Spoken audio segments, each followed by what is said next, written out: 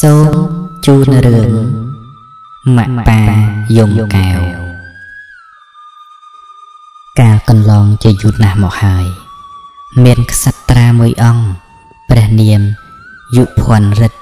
សោយរាជននគរចម្ប៉ាបុរី មានមហេសីព្រះនាមរតវតី និងបុត្រាមួយអង្គព្រះនាមម៉ាក់ប៉ាយងកែវ លុះម៉ាក់ប៉ាយងកែវចម្រើនពេញវ័យក៏បានសុំព្រះមេត្តាបិតាចេញទៅរៀនសិលសាស្ត្រជាមួយនឹងតាអេសីក្នុងព្រៃបរិពតកាលនោះមានស្ដេចមួយអង្គទៀតព្រះនាម អាដាមសា មានឫទ្ធិអំណាចខ្លាំងពូកែទ្រង់មានបុត្រាមួយអង្គព្រះនាមឆាយាក៏បានចេញទៅរៀនមុខវិជ្ជាការ ជាមួយតាសច្ចាំងនៅក្នុងព្រៃបរិពតដ៏សែនឆ្ងាយពីព្រះនគរម៉ាក់ប៉ាយងកៅក្រោយពីរៀនចេះចប់នៅសាលាសាស្ត្រផ្សេងផ្សេងហើយក៏ចង់វិលទៅនគរវិញ តាអីសីក៏ជប់ប្រខ័ណ្ឌជ័យនឹងធ្នូសចងដៃដល់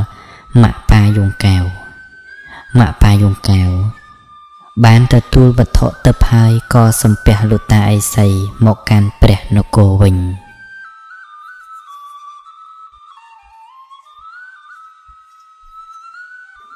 និយាយពីព្រៃផ្កា ដែលមានដែនសីមាក្នុងបាតសមុទ្រមានកូនស្រីម្នាក់ប្រកបដោយរូបឆោមស្រស់ឆើតឆាយមានព្រះនាមបូងាសុខនថ្ងៃមួយព្រះនាង បូងាសុខនអបសុខក្នុងកាយា បានសំបេតាទៅកំសាន្តនៅឯឋានកណ្ដាលមេត្តាក៏អនុញ្ញាតឲ្យចាត់ឲ្យសេនា80នាក់ជួនដំណើរព្រះបុត្រីព្រះនាងបូងាសុខននិងពលសេនាបានជ្រែកទឹកផុសនៅមាត់សមុទ្ររួចនាំគ្នាដើរកំសាន្តក្នុងព្រៃបេះផ្លែឈើសោយនិងច្រៀងរាំតាមព្រះចិន្តា ជួនជាចៃដន្យព្រះនាងបូងាសុខនក៏បានជួបនឹងម៉ាក់ប៉ាយងកែវនៅទីនោះព្រះអង្គក៏មានចិត្តប្រតិព័ទ្ធលើព្រះនាងបូងាសុខនរួចបានផ្ដោះផ្ដងសុំសេចក្តីស្នេហាពីព្រះនាង ទីបំផុតក៏បានคล้ายជាប្តីប្រពន្ធនឹងគ្នាក្នុងវេលានោះទៅ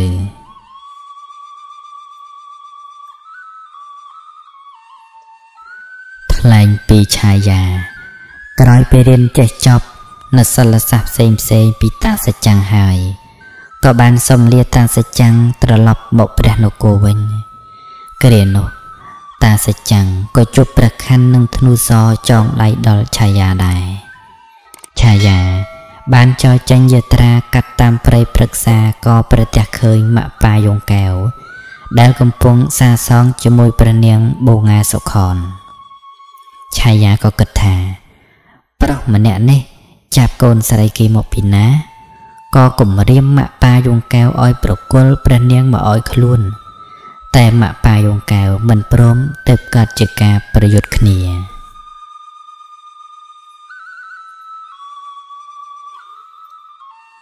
ម៉ាក់ប៉ាយងកែវនិងឆាយា បានប្រយុទ្ធគ្នាអស់មួយសន្ទុះធំមិនចាញ់មិនឈ្នះទៅព្រះនាងបូងាសុខនរត់ទៅរកពលសេនា ហើយនាំគ្នាជ្រែកចូលទឹកសមុទ្រអស់ទៅម៉ាក់ប៉ាយងកែវឃើញដូច្នេះក៏លែងច្បាំងហើយលុតចុះទៅក្នុងទឹកតាមព្រះនាងតែដោយទ្រង់មិនចេះជ្រែកក៏លង់ទឹកសន្លប់បាត់ស្មារតីធ្លាក់ដល់បាតសមុទ្ររីឯឆាយាក៏បន្តដំណើរទៅដល់ព្រះនគររបស់ទ្រង់វិញទៅ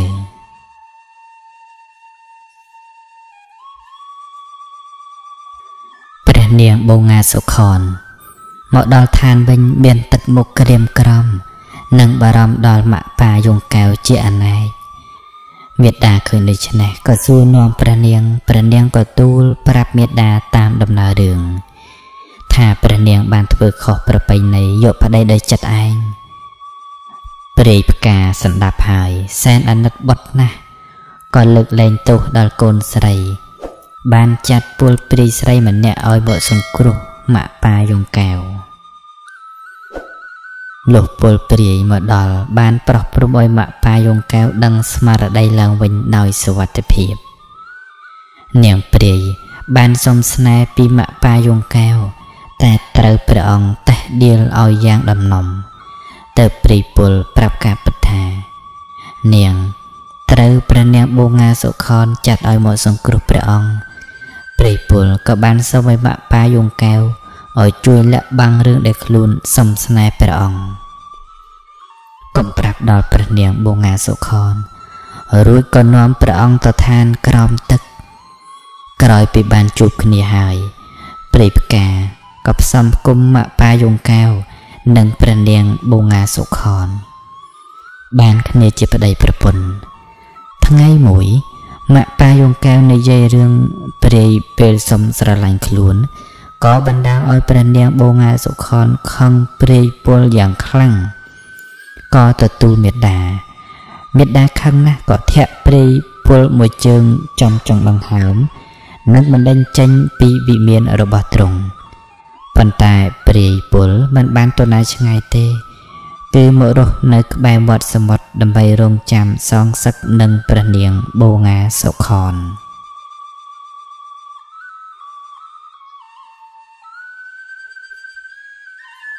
ថ្ងៃក្រោយមកម៉ាក់ប៉ាយងកៅបានសុំព្រៃផ្កានាំមហេសីទៅព្រះនគរវិញព្រៃផ្កាក៏អនុញ្ញាតព្រះនាងបូងាសុខនក៏ជ្រែកទឹកនាំម៉ាក់ប៉ាយងកៅចាក់ចេញអំពីឋានក្រោមទឹកលុះមកដល់ក្នុងព្រៃក៏មានសត្វខ្លាពីរក្បាលដេញខំគ្នាទាំងពីរទាំងពីរក៏រត់ឡើងដើមឈើ ឯសត្វខ្លាទាំងពីរនោះមិនព្រមចេញទៅណាសោះ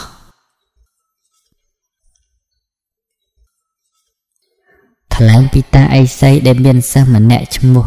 អាដាមមិនចេះនិយាយភាសាមនុស្សទេតែមានសិលសាស្ត្រខ្លាំងពូកែអេសីប្រាប់អាដាមថាឯងគ្មានឪពុកម្ដាយទេ ពីពេលនេះតទៅបើឯងបានជួបមនុស្សប្រុសស្រីណាជាលើកដំបូងអ្នកនោះហើយគឺជាឪពុកម្ដាយរបស់ឯង លុះអាដាមដើរចូលក្នុងព្រៃក៏ឃើញខ្លាពីរក្បាលអង្គុយចាំខំមនុស្សពីរនាក់នៅលើដើមឈើអាដាមក៏ប្រយុទ្ធជាមួយខ្លារហូតដល់ខ្លាទាំងពីរនោះស្លាប់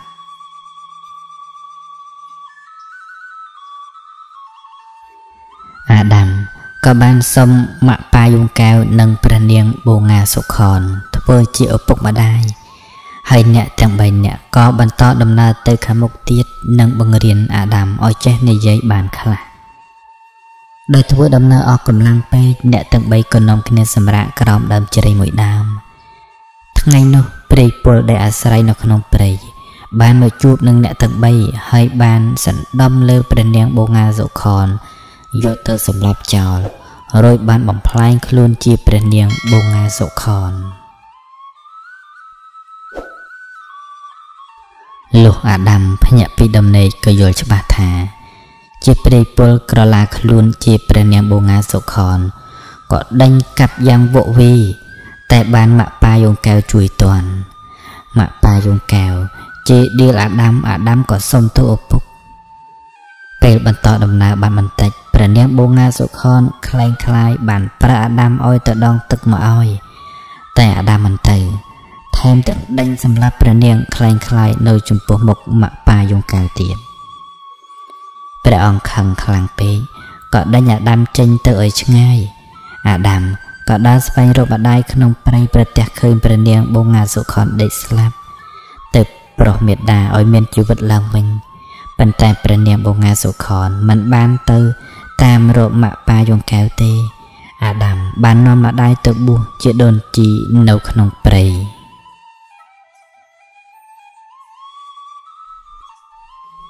រីឯម៉ាក់ប៉ាយងកែវវិញ បានមកសុំផ្ទះតាយាយស្នាក់នៅបណ្ដោះអាសន្នលុះយប់ឡើង នាងព្រៃបានចូលទៅកាច់កយាយស៊ីជាអាហារតាឃើញតន់ក៏ស្រែកឡើងភ្ញាក់ដល់ម៉ាក់ប៉ាយងកែវព្រះអង្គដឹងការពិតថាមិនមែនជាព្រះនាងបូងាសុខនព្រះអង្គក៏ចាក់សម្លាប់ព្រាយនោះហើយលេតាចេញដំណើរទៅរកមហេសីនៅឯក្នុងព្រៃ និយាយពីព្រះអង្គឆាយាវិញទ្រង់មានប្រតិចង់បានមហេសីក៏ទូលព្រះបិតាឲ្យចូលស្ដីដណ្ដឹងព្រះនាងឆោផ្កា ដែលជាបុត្រីរបស់ស្ដេចឆោប៉ាដិនប៉ុន្តែត្រូវព្រះនាងឆោផ្កាបដិសេធព្រោះព្រះអង្គជាជនជាតិក្លឹងដែលជាជាតិសាសទុនទាបមិនសមនឹងឋានៈរបស់ព្រះនាងឡើយព្រះអង្គអាដាមសា នឹងបត់បានលើកពលសេនាចូលទៅវេនគរស្ដេចឆោប៉ាដិន ស្ដេចឆោប៉ាដិនចាញ់សង្គ្រាមក៏នាំបត្រីរត់ចូលក្នុងព្រៃបានជួបនឹងម៉ាក់ប៉ាយងកែវហើយសូមអង្វរព្រះអង្គឲ្យជួយយកអាសាទ្រង់ផង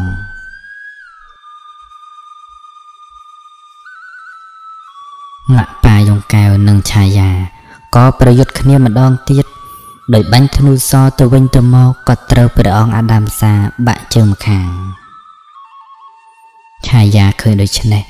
ក៏រត់ភៀសខ្លួនលែងប្រយុទ្ធស្ដេចឆោប៉ាដិនក៏លឹកបត្រីឲ្យបាក់ប៉ាយងកែវហើយរៀបអភិសេកជាគូស្វាមី ចំណែកឆាយា កាលបើចាញ់សង្គ្រាមហើយក៏ទៅជួបគ្រូសច្ចាំងបញ្ឆេះថាម៉ាក់ប៉ាយងកែវតេះដៀលក្រាស់ក្រែល តាសច្ចាំងខឹងណាស់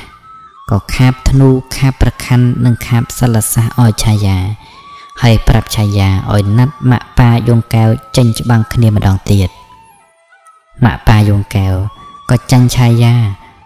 ដោយសារតាសច្ចាំងខាបយកវិជាសិលនិងអាវុធទៅអស់ឆាយាបានចាប់បាក់ប៉ាយងកែវយកទៅចងឆ្កាងជាប់ដើមឈើនៅក្នុងព្រៃបំណងឲ្យសត្វខ្លាមហេស៊ីខណៈនោះ អាដាមកំពុងដើរបេះផ្លែឈើជូនមេដាបានជួបម៉ាក់ប៉ាយងកែវ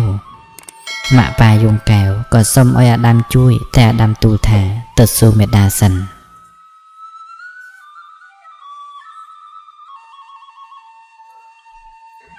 នាងបូងាសុខន ប្រាប់អាដាមកុំឲ្យរំដោះព្រះអង្គតែដោយសារតែអាដាមមិនដាច់ចិត្តក៏បានជួយយកអាសាព្រះអង្គខណៈដែលមានខ្លាពីរក្បាលចង់មកហែកស៊ីព្រះអង្គ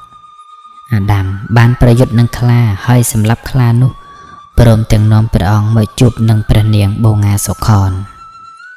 ក្រោយមកព្រះអង្គនាំមហេសីនិងអាដាមទៅសងសុខជាមួយនឹងឆាយានៅឯក្នុងព្រៃសង្គ្រាមលើកនេះត្រូវបានអាដាមវាយសម្លាប់ទ្រពឆាយាស្លាប់អស់ជាង40000នាក់ឆាយាឃើញដូច្នេះក៏រត់ភៀសខ្លួនទៅរកតាសច្ចាំងឲ្យជួយ និងពូល បញ្ឆេះឲ្យតាសច្ចាំងខឹងឲ្យធ្វើដំណើរស្វែងទៅជួបម៉ាក់ប៉ាយងកែវនៅក្នុងព្រៃតាសច្ចាំងមានសិលសាស្ត្រខ្លាំងពូកែបានប្រើមុនវិជាឲ្យមានភ្លើងឆេះទាំងម៉ាក់ប៉ាយងកែវនិងបូងាសុខនស្លាប់បងជីវិត នៅសល់តែអាដាមបានរត់គេចទៅរកអេសីឲ្យជួយ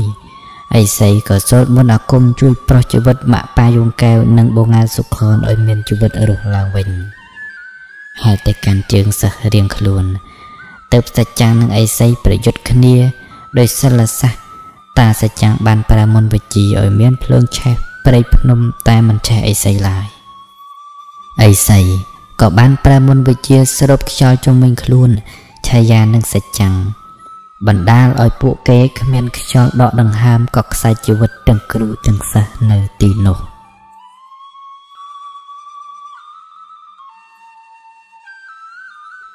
អីសីបានផ្ដាំទៅមកប៉ាយងកៅថា អាដាមរស់បានតែ3ដងនិងស្លាប់បានតែ3ដងប៉ុណ្ណោះដូច្នេះចៅត្រូវលើកលែងរាល់កំហុសឆ្គងទាំងឡាយចំពោះគេផងម៉ាក់ប៉ាយងកៅ បងងាសុខននិងអាដាម បាននាំគ្នាចូលទៅនគរស្ដេចឆោប៉ាដិន ហើយទូលប្រាប់ព្រះអង្គតាមដំណើររឿងទើបស្ដេចឆោប៉ាដិនឲ្យព្រះនាងបងងាសុខនជាមហេសីទី1និងព្រះនាងឆោផ្កាយជាមហេសីទី2ហើយមហេសីទាំងពីរអង្គក៏ស្រឡាញ់គ្នាដូចជាបងប្អូន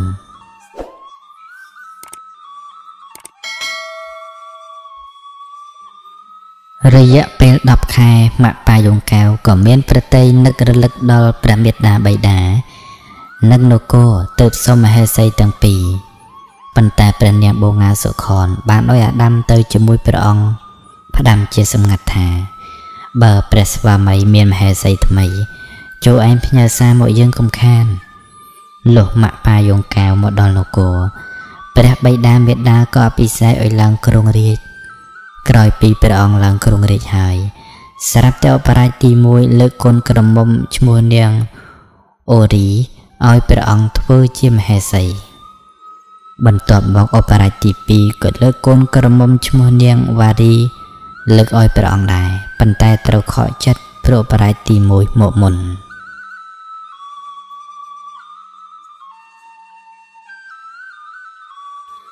ម៉ាក់ប៉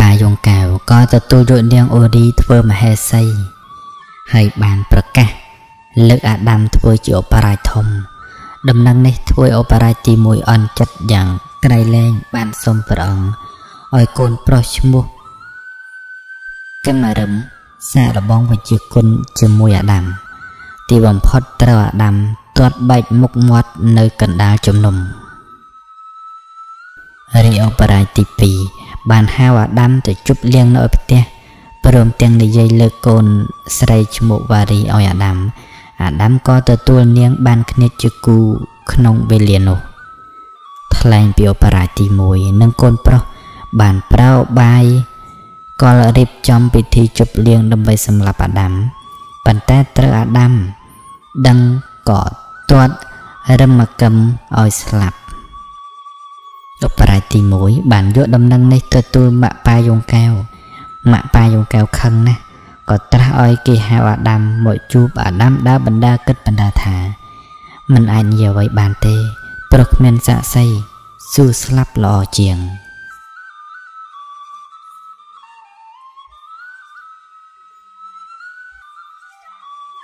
ចំណែកអាដាមទោះជាបៃតាសាកសួរយ៉ាងណាក៏មិនស្ដី ទៅប្រងឲ្យគេចងអាដាមយកទៅពីឃាតនៅក្នុងព្រៃអាដាមក៏ផ្ញើសារមួយទៅជូនមេដាបងងាសុខនថាត្រូវបៃតាយកទៅសម្លាប់ត្បិតបៃតាមានមហេសីថ្មីទៀតហើយព្រះនាងបងងាសុខនលាព្រះនាងឈរផ្កាយ៉ាងកាត់ព្រៃទៅរកព្រះស្វាមីលុះព្រះនាងមកដល់នគរក៏សូមព្រះស្វាមីឲ្យអភ័យទោសដល់អាដាមទៅព្រះអង្គឲ្យពេជ្ជឃាតនាំអាដាមមកជួបព្រះនាង អាដាមក៏ប្រាប់មេដាតាមដំណើររឿងពេជ្ជឃាតក៏នាំអាដាមទៅកន្លែងចាស់វិញរួចសម្លាប់អាដាមតែមិនស្លាប់សោះអាដាមប្រាប់ពេជ្ជឃាតថាទោះជាឯងសម្លាប់យើងយ៉ាងណាក៏យើងមិនស្លាប់ដែរ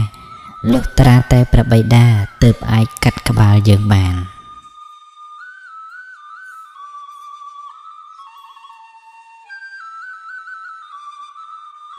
ទីបំផុត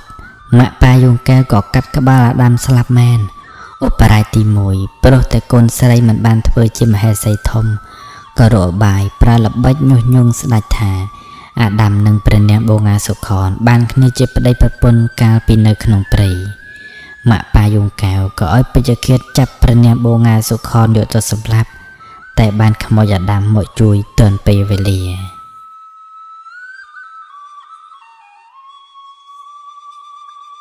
រីឯព្រះនាងឈរផ្កា